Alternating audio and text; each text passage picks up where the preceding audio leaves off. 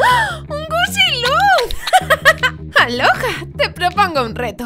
Te cambio esta caja misteriosa por tu gusiluz. Gusiluz es mi hijo. ¿Pero qué me dices? Ha salido a ti. Tenéis el mismo pelo. Bueno, ¿qué hay en la caja? Quizás me interesa. ¿De verdad? Ahí está el riesgo del reto. Puede haber cualquier cosa aquí dentro. Es una tómbola. Ay, no, no, no. ¿Y si dentro está el gato muerto? ¿Qué gato? Yo nunca le haría eso a un gatito pletioto. Bueno, ¿aceptas o no? No tengo todo el día. Pues huele un poco mal. Yo creo que ahí hay algo caducado, o será brócoli. ¿Seguro que no viene de Gucci? Tiene la cara apretada. Ahora que lo dices, ¿vale? Sí, sí, acepto. ¿De verdad? ¿Así de rápido? ¡Hija! Lo que sea para no tener que cambiarle el pañal. Este bellaco suelta cada muñeco de barro. Buah, medio arcada, venga, venga, dame la caja, la caja. Espera, yo, yo... Bueno, da igual, está bien. ¿O qué tienes?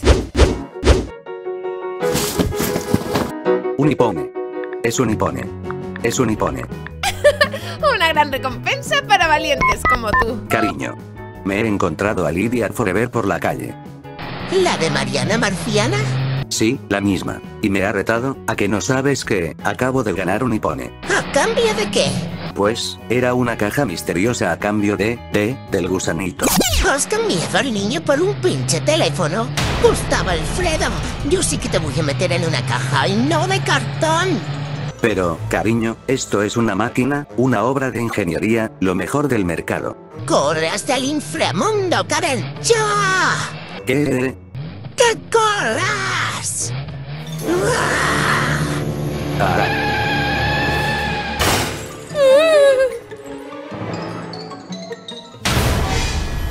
¡Un momento!